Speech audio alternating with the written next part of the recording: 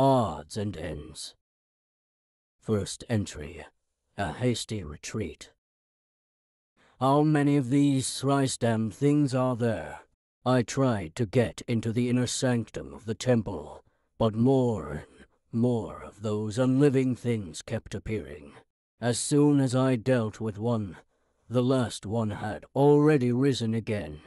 I had to retreat, else I'd risk being stuck here, clawing my way out over a dozen or more deaths and rebirths.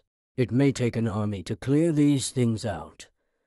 Maybe drag all of their bones into a deep, dark hole and throw them inside. Second entry attempts at poetry. The sun shines on the water of the ocean, and it is pretty, beautiful, magical. Bah!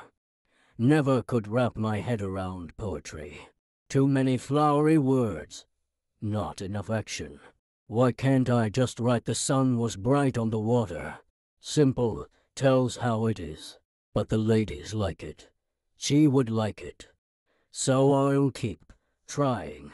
The sun listens on the water.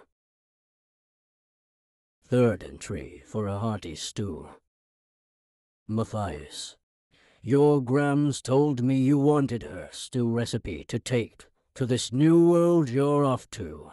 So I've copied it here into your cookbook. Wishing you a safe journey. Signed Mum. To a cauldron of water. Add one whole turkey plucked, one whole rabbit skinned four large chopped squash.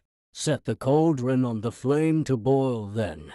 Add three handfuls of briar branches, eight chopped carrots, and a full head of cabbage.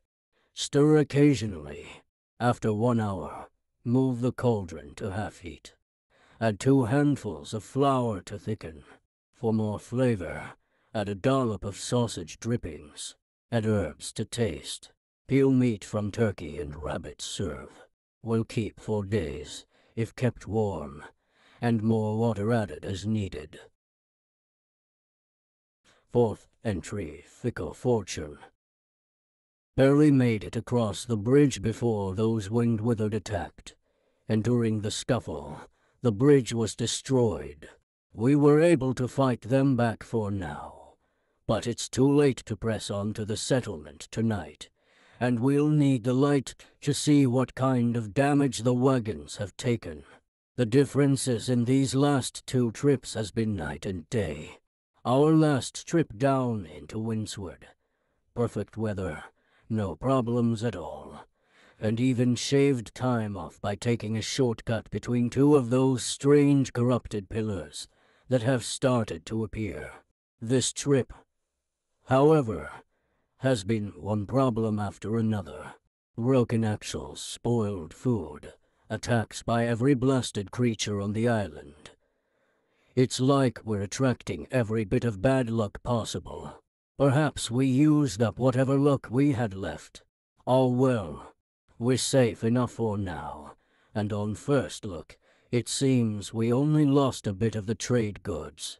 I'm sure Dottie will understand once we explain.